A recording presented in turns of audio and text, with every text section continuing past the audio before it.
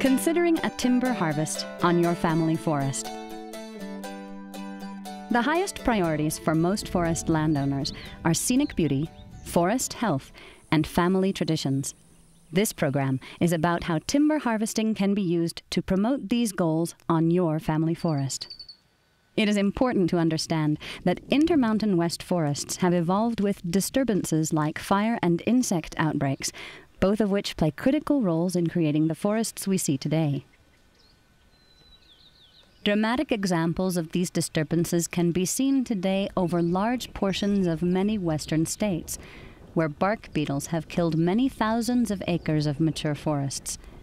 Many forestry scientists and practitioners believe that the dramatic change that accompanies these large scale disturbances could be tempered by actively managing our forests.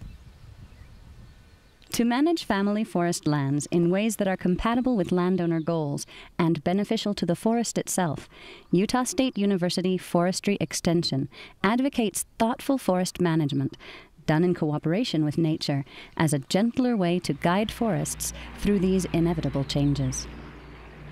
Well planned and executed forestry operations can improve recreational and scenic values over the long run while mimicking the changes that occur in nature. High quality timber harvesting is one of the most important components of sustainable forest management.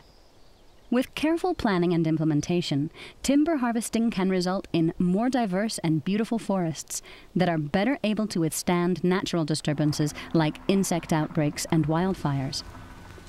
Any timber harvest should begin with the assistance of a trained professional forester who can help the landowner develop a forest management plan. For any given forest stand, there are a number of possible outcomes, depending on what is there and what is desired. Ecologists use the term desired future condition to describe this picture of the forest in the future. For a landowner, this means you need to communicate your objectives and priorities to the professional forester you are working with. For example, what is the most important to you? Grazing? Recreation? Or both? I'm uh, Eric Bretthauer. I'm the landowner here of about uh, 2,300 acres in Kane and Garfield counties, Utah. I've always enjoyed the mountains and forested land. It gives me a, a, good feeling. I bought it many years ago and hope that it stays in our family for generations. We erroneously thought that uh, we didn't need to manage our, our forests. We could just let them go and not cut them and uh, everything would take care of itself until uh, one day I was being visited by a colleague of mine and he suggested that our forests were in pretty bad shape and we needed to get aggressive and manage them or we were going to lose them. I didn't know much about uh, forest practices, proper forest practices myself. And I uh, went to the state, the Division of Forestry in the state of Utah, and asked for their assistance. Well, at the time, the, uh, the state suggested that we develop a management plan, a they called it a stewardship plan, and um, which was a considerable undertaking. Uh, it was a cooperative effort where they worked with us in terms of our, uh, our endpoints, how we wanted the forest to, to appear in terms of its appearance and in terms of its physical health. And uh, then over a period of, I would say, uh, two years, a stewardship plan was developed that we all, they, they basically developed it, but we bought into it. We, uh, meaning my family, uh, wished to have a forest, ultimately wind up with a forest that was attractive uh, to look at, that it looked healthy, absence of too many dead trees, um, that it was generally a healthy forest.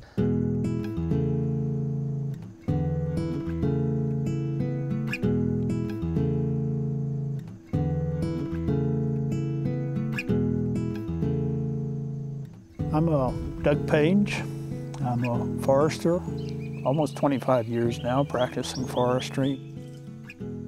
Landowners should, when they're managing a forest, they should consult with a forester, either a state forester or a, or a private consulting forester. Now, a forester is uh, someone who has been trained has a college education in professional forest management.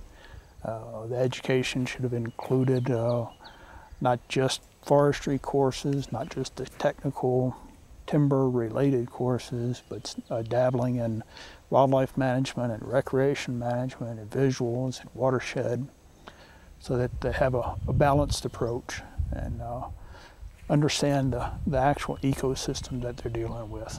The professional forester has been trained to recognize situations, to understand what species, tree species you're dealing with, uh, what the capability is of each tree species, what the limitations are.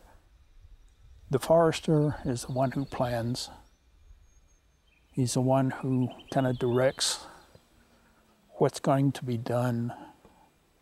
And then the, the logger is the, is the implementer. He's kind of the one who practically says, uh, well, this tree can come down, but it can't fall that way. It's got to fall in a certain direction because it has a lean or it has a certain defect to the tree. So there has to be a partnership there. Um, loggers can do a good job and, and you can achieve good uh, results and uh, achieve the management objectives you have on the land.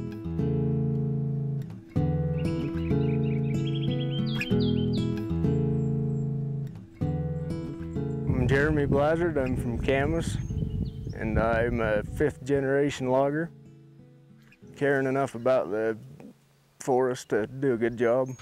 I mean, there's always going to be damage, but you can keep it minimal and do the best you can to keep from keep the brush down and keep the damaged trees up to a minimum. And a lot of guys don't pay attention where they're going, and they run over, run their tires up trees and blow the bark off of them. And if you don't watch where you're going, it you can't even hardly feel it when you hit a tree.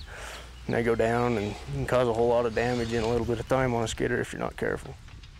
Five generations of logging, and you need to have good logging practices, or else you don't keep working. It doesn't take a whole lot of fancy equipment to get it done, but if they care is the big thing. Just they got to care what it looks like when they get done.